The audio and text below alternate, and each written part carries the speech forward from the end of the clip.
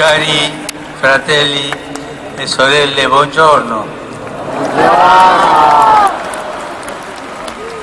Nel Vangelo di questa domenica Gesù ci parla della risposta che viene data all'invito di Dio rappresentato da un re a partecipare ad un banchetto di nozze.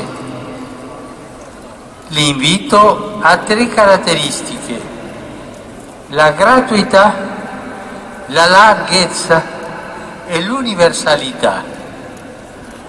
Gli invitati sono tanti, ma avviene qualcosa di sorprendente. Nessuno dei prescelti accetta di prendere parte alla festa. Dicono che hanno altro da fare. Anzi, alcuni mostrano indifferenza, estraneità, perfino fastidio.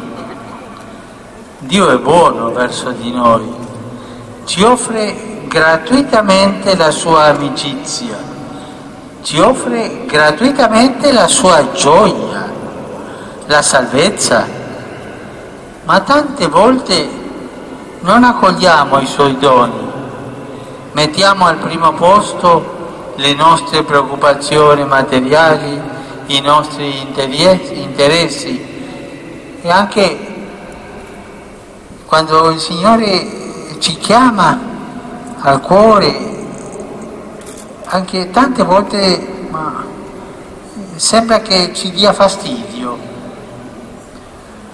Alcuni invitati addirittura maltrattano e uccidono i servi che recapitano l'invito, ma nonostante le mancate adesioni dei chiamati, il progetto di Dio non si interrompe.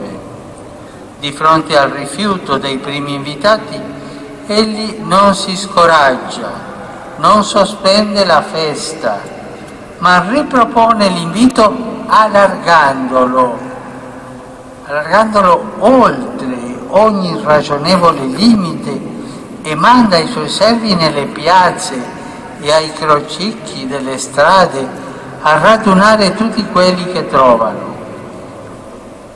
Si tratta di gente qualunque, poveri, abbandonati e diseredati, addirittura buoni e cattivi, anche i cattivi sono invitati, senza distinzione. E la sala si riempie di esclusi. Il Vangelo, respinto da qualcuno, trova un'accoglienza inaspettata in tanti altri cuori. La bontà di Dio non ha confini e non discrimina nessuno. Per questo il banchetto dei doni del Signore è universale, è universale per tutti. A tutti è data la possibilità di rispondere al suo invito, alla sua camminata. Nessuno ha il diritto di sentirsi privilegiato o di rivendicare una esclusiva. Tutto questo si induce a vincere l'abitudine di collocarci comodamente al centro, come facevano i capi dei sacerdoti e i farisei. Questo non si deve fare.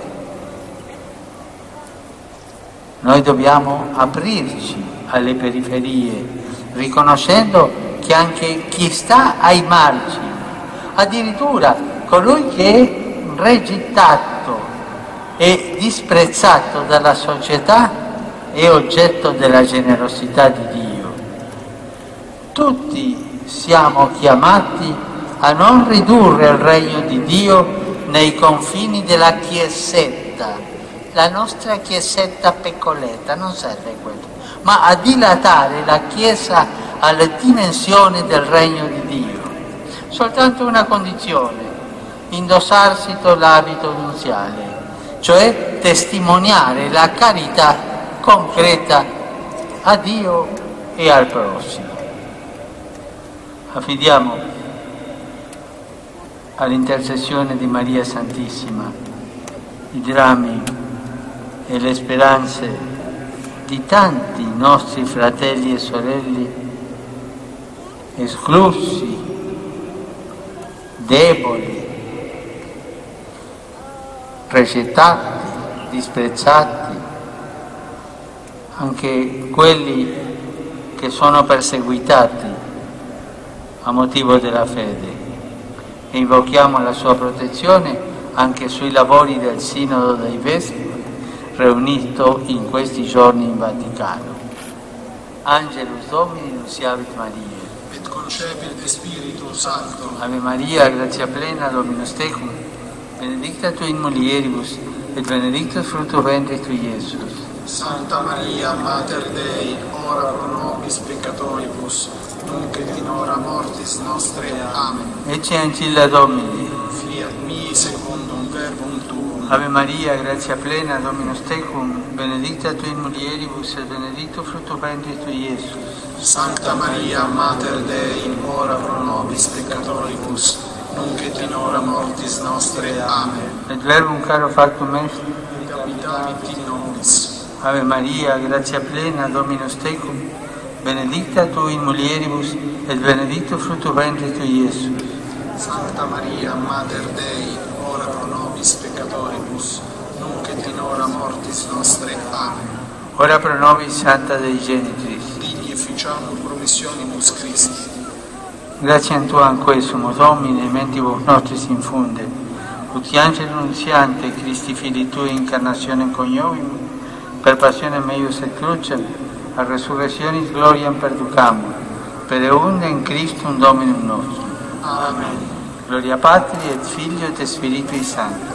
Sicut erat in principio et nunc et semper et in saecula saeculorum. Amen. Gloria Patri et Filio et Spiritui Sancto. Sicut erat in principio et nunc et semper et in saecula saeculorum. Amen. Gloria Patri et Filio et Spiritui Sancto. Sicut erat in principio semper et in saecula saeculorum amen. Pro fidelibus defunctis requiem aeternam dona eis domine. Ex perpetua luce a teis requiescant in pace. Amen, amen. sit nomen domini benedictum. Ex hoc nunc et usque in saecula aiutorum nostrum in nomine domini. Qui fecit caelum et terra. Benedicat vos omnipotens deus pater et filius et Spiritus Sanctus.